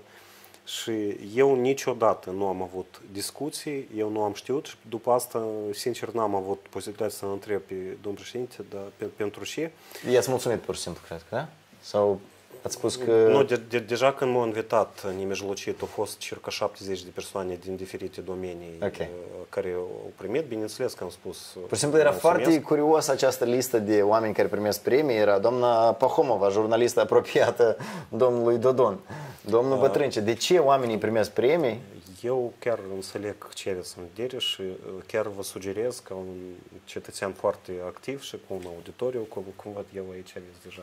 Eu cred că- Uitați 400 de comentarii. Eu pot să spun că domnul Gimpu, fiind uh, președinte Nu interimar... comparați, nu, eu știu chestia asta. 1300 de ordine a Republicii. Ceea ce am primit eu, Ordinul Gloria Muncii, este net mai jos decât Ordinul Republicii. E perfect să înțeleg. De Pentru asta că și prietenii cum lui îi spune- doar ca să primească adaus la pensii sau nu știu ce. Și de aceea... Domnule Bătrâncea, asta e ca și cum ai cumpăra, de, de ia uite la și ăla, copiii, copiii noștri în casă tot așa fac. Îi spun, De- de- Soni, de strângi, acord, te rog de- frumos. de- Da, de- dar uite, uite de cum acord. lăsat. Noi trebuie să întrebăm și eu sin- singur odată l-am întrebat în plenul Parlamentului, domnul Ghimpu, ce a însemnat acest lucru? De ce v-ați permis, ați fost cea mai scurtă perioadă, dar ați oferit ordine a Republicii mai, mai, mai multe decât toți președinții Omul luați, darnic. luați împreună. Da, eu consider că, într-adevăr, societatea are dreptul să întrebe de ce un cetățean sau altul a primit Dumneavoastră ce acel aveți? Să adaos ordine. la pensie? Asta e tot ce aveți în Gloria Muncii. A, Gloria Muncii prevede, nu este niciun adaos până la pensie, este doar un ordin ce v-a plăcut, dar este 50 de lei la pensie. Adaosul de 50 lei la pensie? Da. Și Gimpu a făcut de 50 lei adaos la 1000 și No, vedem? ordinul, Re- la A, mine el dat. Gloria, Ordinul Republicii prevede 500 de lei la 500 pensie. de lei, am înțeles. Domnule Bătrânice, dar acum, dumneavoastră, pe ce trăiți? Pe salariul de deputat? Da. Asta e unica dumneavoastră sursă de venit. Eu pot să vă spun fără, fără tam-tam și așa mai departe, toți care mă cunosc, eu am un, ve- un mod de viață destul de, destul de modest și Dumneavoastră nu sunteți căsătorit? eu am în plan, sper în perioada imediat următoare, dar nu, nu de aceea că nu sunt căsătorit, eu ajut destul de multă lume și nefiind căsătorit. Dar altceva Ce chiar stați, am- am... stați că n-am înțeles ce înseamnă ajut lumea nefiind căsătorit. Uh, Nu, am direct am anumite cheltuieli, că Ah, mă rog, ok. că sunt deputat în circumscripție și plus sunt oameni care, mă rog, se adresează și uneori nu poți, să- nu poți să, să nu ajuți și dai Financiar? De, dai, dai, dai de acolo de unde este, de unde nu este. Financiar ajutați oameni care apelează la Partidul Socialiștilor sau cum? La mine personal, că totuși sunt deputat în Gen, Parlament. bună ziua, sunt pensionar, după Nu, nu, operație gen, dați-mi bani? gen, sau- gen vin la tine în birou, scot pantalonii ca să arăte că trebuie operat piciorul și iată, nu-ți bani de tratament și așa mai departe și sau vine doamna și, și plânge uh, și plânge și nu, uh, că iată soțul a decedat și Dar trebuie bani de- deși un deputat într-un stat de drept trebuie să facă asta. De, aceea că De ce nu există un sistem medical care să de, ocrotească? de aceea că la noi, într-adevăr, în, cazul, uh, în cazurile respective, oamenii nu găsesc sprijin de la instituțiile statului, de aceea că sistemul este destul de birocratizat. Nu, bu- bine, sunt cazuri mai excepționale. Eu, de, de exemplu, fac interpelări și către Consiliul Municipal, Fond de rezervă sau către uh, Ministerul Protecției Sociale. Mă, procedura este destul de anevoiasă, omul are o tragedie, o problemă. Și pe dânsul îl pun, el trebuie să facă pașaportul social, îi vin acasă, văd ce e în frigider și dacă are televizor, dacă nu are, că asta se numește pașaport, uh, pașaport social, uh, el trebuie să prezinte certificat pe- privind componența familiei și multe lucruri care până la urmă omul când se- este în, într-o situație foarte complicată, deplorabilă, bine, sau fie îl umilește, fie el nu are capacitatea să treacă toată această procedură. Sau vine țuțul și dă și bote de Și bineînțeles răzăr. că depinde tot de economie. Noi trebuie să dezvoltăm economia statului, o, e, e, întreprinderi locuri de muncă, ceea ce creează o bază fiscală. Bun, asta e din- termen lung, de iată doamna care sau domnul care vrea Da. să fie operat. De ce nu trebuie sunt să fie cazuri de ajutat? astea. Dar mă întorc la întrebarea dumneavoastră. Eu n-am mașina mea personală, nu am făcut careva achiziții scumpe și... Cu ce o să plecați nu, de seară nu, acasă? nu, ca să- nu, eu am mașină de serviciu, eu Ah. nu, nu merg, nu cum, îmi place să merg pe jos, dar nu tot timp, mereu nu, numerzę niżej. Miasto tai Lukujcem cirkumskrypcję jest kandydat? Tam sektor Raszkań. Sektor Raszkań, okej. Okay. Da. Miasto Batut Pislu Serdek Nugryszewsk, da? Nu, la Batut. Să asta nu se cheamă așa. Nu, nu, nu. Nu știu, acum, de exemplu, nu se întâmplă că, băi, tu ne-ai luat 900 de voturi, da? Eu cred că, eu acolo am trăit mulți ani și am mulți prieteni și rezultatul domnului 10.000 de prieteni? Uh, nu, Câți mul, voturi? mul, mult spun, nu, normal că nu poți, dar uh, rezultatul domnului Slusar este destul de decent și uh, este un rezultat foarte ok. Da. Eu, bineînțeles că din start am avut poziții mai bune, că eu mai mulți ani, mă rog, am activat în acest uh, sector și, Și lumea vă cunoștea. Am înțeles, da, ok. Și, și de aceea rezultatul lui este decent. Nu l-am bătut, uh, am concurat și pot să vă zic că eu am avut probleme cu PD, care ne-a pornit și spoileri. La mine a fost candidatul Ciubașencu, candidatul la prezidențiale de la USATI. La mine a fost Regina Apostolova, care e viceprimar de Orhei, care... Stați, Oleac, de- noi am, suntem oameni serioși. Dumneavoastră o considerați pe Regina Apostolova spoiler. Da. nu, eu pot să vă zic că Adică și vă furat cât? 200 și vot. și- 2000 jumate. 20 jumătate de voturi au luat Eu apostol. una în circumscripția mea au luat atâtea voturi cum- cum restul candidaților în alte circumscripții de Chișinău luați împreună. Pentru că ei organizau terenuri de joacă, f- Da, clouni nu, pentru ea a copii, activat cadouri. 40 de ani în acest sector, a fost director de școală, a ridicat multe generații, inclusiv și el în Șor și de, de, într-adevăr era un candidat de, de la Partidul Ușor, era cel mai puternic contracandidat. Ok, și, da. și am avut pe stângă multe probleme și într-adevăr s-a muncit împotriva mea, dar pot să vă zic că dacă PD-ul prin candidatul lor uh, uh, pretorul sectorului Rășcani, domnul Balaur, finul diconia domnului Dârda, au făcut o campanie murdară împotriva mea. Nu, am, am văzut multe critici. Eu pot să vă spun că cel puțin domnul Slosser nu a folosit uh, așa, v-a contraatacat în mod direct? instrumente așa de murdare. Nu, bun, eu puteți să mai spun că, e că asta e și el care a rupt harta ei, dar cel puțin nu mai face eu o șuțet așa cum... Dar e ca serios, uh, la distanță de aproape 4 ani, cum vă amintiți dumneavoastră de ziua 10 decembrie 2015, dacă nu greșesc? Vlad Bătrâncea iesă și rupe harta României mari și pe urmă explic că asta e un stat care nu există. Poate am lăsat provocat de domnul Mihai Gimpu, însă eu nu vreau acum să, să vă spun că regret sau ceva. Este, nu, dar spuneți. este gestul care am făcut, îmi asum consecință și Da, dar în mod normal se întâmplă un gest. Iată, eu se întâmplă să spun ceva sau să nu fac sau să nu respect un angajament față de soție și pe urmă putem să avem o pauză, o, o, o, o stâcică și pe urmă ne spunem un altă, comunicăm. Ne cerem scuze sau promitem să facem, să spunem că regretăm dumneavoastră. Andrei, Vă este cereți faptul, scuze pentru acest gest. Este faptul care am comis, îmi asum uh, consecințele, dar pot să vă zic că, de principiu, eu am un singur pașaport, niciodată n-am apelat la altă cetățenie și eu nu accept, Ok. de principiu, ideea de unirea Republicii Moldova cu alt stat. Asta sunt Facem viziunile abstracție mele. de asta. Facem Asta sunt abstracție de viziuni. asta și ne Da, amintim? pe- pentru un deputat în Parlament este un gest mai radical. Recunosc. Eu mă așteptam Poate- dumneavoastră să vedeți o leacă mai detașat asta, sincer. Pentru că dumneavoastră credeți că eu o să mă concentrez pe România mare, pe pașaport, pe unire. Eu mă concentrez pe gestul de provocare. Iesă un deputat, dita mai deputat, înainte de Crăciun, înainte de sărbători. Tot lumea se uită la deputați cum? E când afli că e un deputat. În, în, în, Nu stați, era o lună jumate până la Crăciun. Nu, ok, Deja mă faceți că Mai există practic sărbători de Crăciun. mai le-am- există Crăciunuri în, în Republica Moldova. Uh, Nu, chiar până la 25 decembrie, era o lună jumate atunci. Păi cât, cum adică o lună jumătate? Era 10 decembrie. Pe 10 decembrie ați ieșit. Da. În noiembrie. parcă. 10 decembrie, ați vărat, ați vărat. Și ia ca, și eu în capul meu, eu nici nu m-am agățat și nu știu dacă ați văzut sau nu, dar cetățeanul Andrei Bolocan v-a dedicat un video atunci. N-ați văzut. Da, mai, am bi- mai bine văzut, nu trebuie. dumneavoastră într-un comentariu după mine ați comentat și ați spus ce video țin minte.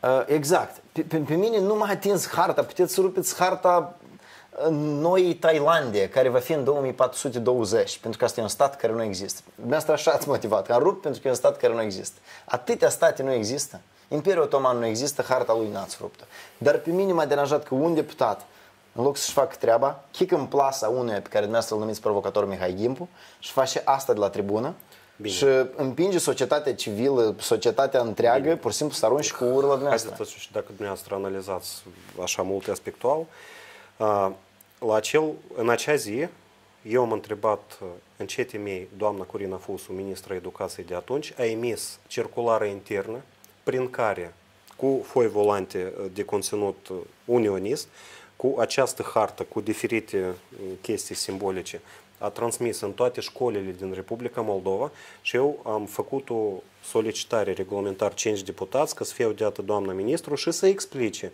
în ce temei doamna a emis acel orden, a, a semnat acel, acea circulară și a transmis aceste materiale care nu fac parte din, din curicula școlară. Domnule Bătrâncea. La ceea ce am fost respins încă, a, ne-a ținut lecția Gimpu că nu sunt eu acela care să, să, să dau lecții doamnei Corin, ministra Corina Fusu, am făcut ceea ce am făcut. Încă o dată vă spun, eu... Dumneavoastră nu vreți să spuneți dacă regretați înțeleg, sau nu? Înțeleg că este un gest radical și nu vreau să par acum că sunt mai, uh, mai bun și să cer ca oamenii să mă înțeleagă. Este, era gest radical, îmi asum consecință.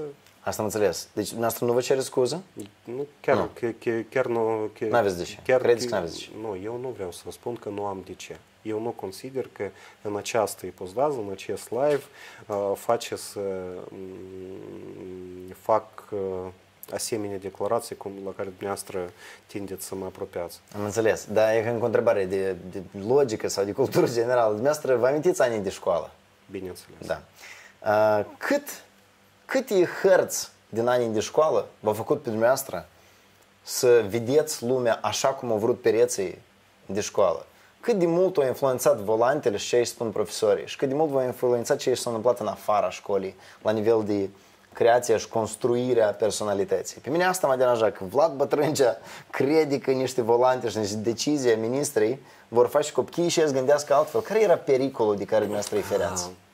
Ce putea să întâmple cu acei copii? Educația trebuie să fie un domeniu apolitic, categoric. Și nimeni, nici PLE, nici PSRM, nici alt partid politic nu trebuie să intervină în curicula școlară și să trimată sub circulară unele materiale care pentru mine sunt uh, materiale de propagandă. Eu în anii 2000 când Mie mi-a făceam dus școala, această hartă de la nordul Republicii Moldova, dintr-un sat uh, ucrainesc, o doamnă director care a venit la Chișinău și, s- și uh, indignată, dar ce trebuie să fac? Eu dacă să fac ceea ce scrie, se scrie în această ea circulară era și- obligată să pună pereți, să știi și, care erau. și, și repar... Nu, acolo au venit și, și pleante, foi volante. Trebuie să aibă loc, uh, urma să fie petrecute zile de nu știu ce.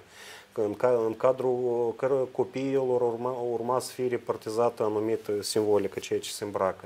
Și au venit și au întrebat ce ca director de școală trebuie să fac. Dacă eu o fac, în satul nostru nu este primit asemenea lu- lucru. Și mine cetățenii să mă iei la furc. Dacă nu fac, am probleme cu minister. De aceea am vrut să o întreb pe doamna Fusu. Pentru ce? Ce scop ați avut dumneavoastră atunci când... ați- Și asta era totuși, mi îmi pare că până în 1 decembrie... Că Nu, asta eu era îți vă arăt, e dedicat. 10 decembrie Ok. 2015, da. Cred că am ajuns la un consens și el susțin pe mine m-ați, m-ați luminat. Alea că vreau să dedicăm câteva minute unor întrebări, dacă au reușit să curgă în comentarii. Eu o să frunzăresc repede și o să încerc să găsesc ceva. Uh, hai la întâmplare. Nicolae Andreescu. Eu acum n-am timp să verific, poate și troli plătiți de pe SRM sau uh, plătiți de mine. Dumneavoastră știți bine că... uh, Eu o să vă demonstrez că pagina lui Igor Dodon are conturi anonime. Dumneavoastră știți bine ceea ce sunt de emisiunea Lumină, că eu n-am avut careva înțelegeri cu nimeni. Uh, poate, nu, n-ați Și- avut și- înțelegere. Și la noi, în afară de colegul cu care a zistat, nimeni nici nu știe că noi cu dumneavoastră înscriem live. Uh, Sper să afle mai multă lume. Domnule Bătrâncea, așa o întrebare, stai Iule, că asta e cam lungă întrebare. De ce insistați ca procurorul general să fie moldovean? Mhm. Hai să ne oprim la asta, să zicem. Vremurile când oamenii trăiau în triburi au trecut de mult, cred că putem să avem încredere în străini. Uh, Da, nu mai mult Igor Dodon s-a pronunțat apropo de asta. Dacă puteți, pe scurt, să trecem acum într-un uh, conveier. În afară că este cadru legal și conform legii, uh, persoana care dorește să devină procuror general trebuie să aibă o experime- experiență minimală Locală. În domeniu, da. Dumneavoastră vă închipuiți atunci când... Adică tot din sistem trebuie să fie omul. Uh, și în acest sistem am întâlnit oameni care și atunci când noi am afl- ne-am aflat în opoziție, au prezentat domnului Dodon, de exemplu, unele chestii despre ce s-a produs cu unele tranzacții, unele uh, transferuri bancare și așa mai departe. Sunt, chiar da, poate sunt puțini. Cu dar, siguranță. Da, da, dar sunt oamenii care într-adevăr nu acceptă nici mită, nu acceptă nici să fie... Da, să, Deci legea procuraturii spune cumva că cel care trebuie să fie șef procuraturii trebuie să aibă experiență locală de minim nu știu câți ani. Da, Ok, da, Dar asta da, poate fi un amendament, poți, poți să faci, poți să schimbi legea, nu?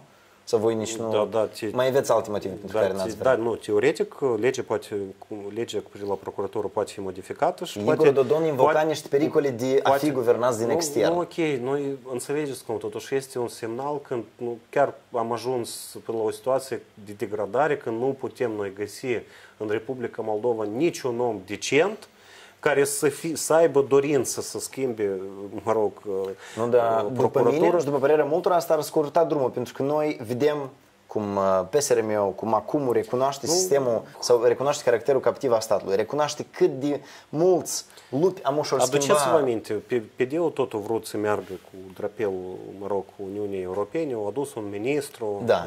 uh, și așa mai departe, bridă, br- bridă. Eu nu știu dacă bridă. asta e un exemplu minunat. Nu, nu, nu, nu, o- o- ok. Și omul care a venit fără să cunoască materia, realitatea în, în Moldova și nu a putut face sau nu a dorit să facă, să, să facă careva Dar ce schimbări. credeți despre argumentul lui Igor Dodon că se teme să fim guvernați din eu cred că nu exterior? haideți să dăm un simbol. Societatea așteaptă careva schimbări și eu sunt sigur că vor reveni unii cetățeni acasă și vor dori să participe în aceste schimbări. Cetățenii Republicii Moldova.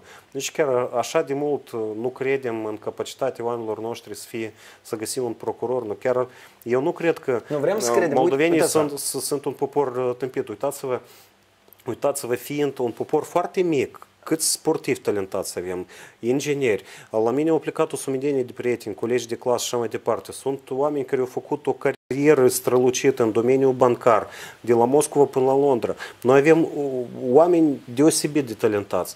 Nu, chiar, chiar noi, noi am ajuns până la situație că nu credem că Ok, de- un cetățean al nostru poate să facă dreptate. Când dumneavoastră acum vorbiți de om care are experiență din sistem, dar pomeniți despre oameni străluciți care au plecat din Moldova și au obținut succes în exterior. eu știu în, și în Moldova mulți oameni, Cu siguranță. mulți oameni și profesori și medici de treabă, da, ei nu au fost promovați, da, ei nu se află în funcție de conducere. Dar înțelegeți cum? Dacă noi începem așa cu procuror, pe urmă revenim că hai să aducem pentru Banca Națională un cetățean străin, pe urmă hai să, aj- să aducem în fruntea, nu știu, la ce instituție și unde ajungem noi? A, este că lumea se plânge că nu-i video. Băieți, sigur nu-i video, bă, trebuie să fie video. Putem să, putem să probăm, cer scuze, doar, doar să facem o, un exercițiu. Nu, acolo vin și, și pleante, foi volante, trebuie să aibă loc A, dacă persistă problema asta, zile de nu știu eu îți dau vină pe Wi-Fi-ul din, uh, din sediu PSRM. Mă tin că cineva stă și ocupă Wi-Fi-ul. Dar, prieteni, eu înregistrez la cealaltă cameră și o să încerc să... trebuie să fac. Dacă Stați să dau asta mai încet.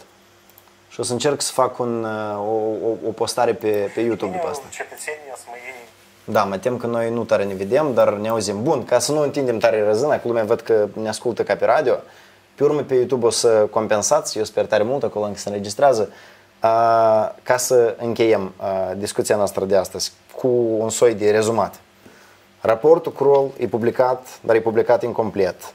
Să zicem că putem să dăm vina pe BNM și procuratură care nu-și fac treaba până la capăt. Corect spun? Corect. Corect. Uh, PSRM-ul este un partid care își dorește foarte mult prietenia cu acum, pe cât mai mult timp posibil. Parteneriat. Parteneriat, da, eu o numesc așa ca pe, ca pe un tren, pri- prietenie. Um, agenda și foaia de parcurs ulterioară, voi o doriți încă pe adoptat, sau cum spun, încă o foaie voi vreți să una mai, mai exactă, Da. cu legi la pachet, ca să știți exact Și la ce legi lucrați și programul guvernului. și programul guvernului. Ceea ce spunea pe Deu și critica, apropo, acum guvernul nostru nu are program? A, Are guvern program, dar acest program urmează a fi completat. Deoarece am activat în condiții, dumneavoastră știți foarte bine, De CP. da. Ok. O chestie care ține de iată, Și noi am sistem. votat, uh, și am votat acest guvern și acest guvern a depus jurământ în sala la Întuneric, atunci când președintele Republicii Moldova primea jurământ tot în sală unde și s-a votat, ceea ce nu este ok. Am avut condiții care am avut și cu certitudine programul guvernului urmează a fi completat. Am înțeles. Igor Dodon spunea că nu acceptă traseism politic sub nicio formă. Azi am vorbit cu câțiva colegi de dumneavoastră, cu Ion Ceban, au zis la fel că nu acceptă. Dar noi știm sigur că trăim în Republica Moldova. Noi vedem și auzim primari sau șefi de tot felul de consilii raionale, președinții consilii raionale care repede, repede își schimbă blana sau cum să spune, dar năravul nu. Ce aveți de gând să faceți cu acești sute de oameni care acum vin dintr-un sistem alimentat de frică, de șantaj, care vor dori să sună acum, vor dori să sună pe SRM, o să-i reprimiți, o să-i curățiți. Ce ține de deputați categoric nu acceptăm, de aceea că înțelegem foarte bine și asta a fost o temere a celor din blocul acum, care chiar și în discuții atunci încă când, până la crearea coaliției, ne spuneam, dar știm, noi cu voi începem și pe urmă voi găsiți 10 deputați, 15 din, din PD și faceți Aha. nu știu ce. Noi am spus categoric că nu primim uh, alți deputați. Ce ține de oameni din teritorie? Noi trebuie să analizăm fiecare persoană în parte. Noi nu trebuie să fim la fel ca și alții. Trebuie să fim diferiți. Trebuie fiecare om privit uh, cazul lui aparte. Eu știu că uh, primari din teritorii care nu au dorit. Știu foarte bine un președinte de raion care categoric nu a vrut să facă acest lucru și din a patra încercare l-a convins atunci când el, el deja avea două dosare la fund și încă și alte pericole. Bun, eu nu știu cum aș proceda eu. Eu poate aș lua valiză dacă sunt presat și nu vreau să trec. Eu poate aș pleca pe ceva timp. Din țară? Din, din țară, da. Numai, okay. să, numai să nu. Poate, nu știu, eu nu pot. N-ați fost niciodată confruntat eu, cu situația nu, nu, asta? Eu, eu n-am fost în pielea lui ca să, okay. ca să spun uh, că noi mulți suntem deștepți atunci când uh, Eu sunt de acord, eu sunt de acord. Pentru mine asta tot e o rezervă personală. Eu uh, l-am auzit recent și pe Andrei Năstase, care a spus că într-un interviu cu Natalia Morar, spunea că încă e de vreme să cerem oamenilor să fie așa de curajoși cum noi de fapt i-am vrut. El de-abia intrând în sistem a aflat că frica de fapt este mult mai ramificată. Corect. Și greu de înțeles asta când n-ai fost în pielea acestor oameni. Și eu știu că acest om încă poate aduce folos uh, societății. Uh, care a fost șantajat da, și supus fricii. Dar eu știu cel puțin doi președinți de reuniune care uh, cu mare plăcere au acceptat tacticile și instrumentele PD-ului și au curățit până la ultima dereticătoare, până la ultimul paznic de la intrare și i-au impus să scrie cerere la PD. Așa că trebuie fiecare caz discutat, examinat în parte și nu trebuie să nimeni, nimeni din noi nu trebuie să fie judecător și nu trebuie să, să simte că el este autoputernic să decidă soarta oamenilor la grămadă, la pachet, în gros sau în ansamblu. Întrebarea lui Dorin Miscenco. Domnul Bătrânice, care este planul de acțiuni pentru stimularea investițiilor în țară, în special al industriei care este la moment se află în stare deplorabilă uh, un pic? Uh, este vreo strategie de a moderniza industria la un nivel decent? Eu cred că asta e întrebare pentru Ministrul Economiei, nu? Nu, Sau țineți de competența? Întrebarea este foarte bună că noi, noi acum uh, vom întreprinde eforturi mari anume pentru atragerea investițiilor în producere, în domeniul de agricultură, procesare, prelucrare. Noi vrem să întoarcem întreprindere furată de la cetățeni tot un cetățe și acele ramuri uh, de agricultură, a industriei care pot aduce uh, profit și care pot asigura o economie. Fără asta, tot ce am promite noi pentru programe sociale pentru cetățeni, asta tot ar fi populism și minciună. Și de aceea este un plan foarte bine pus la punct și în ceea ce ține de relații cu Federația Rusă și noi știm foarte bine că muncește în această direcție și doamna Maia Sandu și cu deblocarea finanțării și cu atragerea investițiilor și cred că dacă noi vom merge pe această linie și vom atrage tot ce se poate atras și de la est și de la vest, acest lucru o să fie în beneficiu cetățenilor și într-adevăr, într-adevăr foarte mult dorim, dorim să reabilităm economia noastră. Am înțeles. Eu uh, să încerc să fac față întrebărilor, dacă ele sunt, poate după asta să vă le trimit în scris, uh-huh. pentru că e puțin dificil. Nu mă așteptam la această problemă tehnică. Sper mâine ea să nu mai fie prieteni. Mâine vineri, pentru cei care vor vedea acest video. Mâine vreau să am un interviu cu Andrei Năstase, sper de data să țină de cuvânt, finalmente. Iar domnului Vlad Bătrânice, mulțumesc pentru timp, îi mulțumesc pentru că a rezistat până această oră târziu. Vă, vă mulțumesc pentru atenție, că ați ascultat acest podcast timp de o oră. Pe YouTube să-l vedeți în format video, nu s-a întâmplat nimic uh, special și indecent. Suntem uh, în continuare îmbrăcați, nu facem lucruri urâte, vorbim, discutăm. Pe final vreau să vă uh, adresez o invitație. Vreau să vă văd pe 6 iulie la Holercani eu să fiu pe scena festivalului Iamania. Ați auzit de festivalul Iamania? Deja, da. Deja ați auzit. Trebuie să veniți acolo. Iată, iată eu cred că festivalul Iamania este un soi de focar și exponent totodată al a ceea ce înseamnă prietenie de tradiții, modernitate. Vezi mii de oameni care vin din Chișinău și cunosc o, o specifică a unor localități din Dubăsar. De exemplu, noi să avem degustații gratuite de plăcinta Dubăsarului, tăria Super. Dubăsarului. Bunii mei din Dubăsar, așa că voi încerca să fiu acolo. Dar dumneavoastră sunteți vorbitori de limba rusă, da? Eu am făcut școală în limba rusă, dar universitate deja în limba de stat. Limba română de stat. Pentru mine este limba moldovenească, articolul 13, pentru că nimeni nu a modificat. Ca să nu cădem Dar în plasa discuțiilor Asta, cum spune prietenul și colegul meu Ion Ceban, moldovenii sunt cei mai talentați în lume că de la naștere cunosc trei limbi. Da, Moldovenească, română și de stat. Foarte, foarte bună glumă din partea lui Ion Ceban. Vă mulțumesc încă o dată pentru timpul dumneavoastră. Mersi celor care au urmărit. Vă mulțumesc pentru invitație. A fost primul live meu din viață. A fost o provocare plăcută și, pentru mine. Și pentru mine ați observat că trecem prin, chiar și acum prin dificultăți tehnice. Mâine sper la Ministerul de Interne să avem parte de un internet mai bun. Dacă vreți sau dacă credeți că e prea chinuitor acest proces, mm, în primul rând, donați pentru Partidul Socialiștilor ca să aibă un Wi-Fi mai bun. Voi sunteți deschiși la donații, nu? și, și putem, să, putem să registrăm următoarele interviuri ca să evităm această problemă. Vă mulțumesc încă o dată. Seara Vă liniștit. mulțumesc. Mersi. Iată, v-am stricat toată statistica. De obicei mai multe like-uri aveți.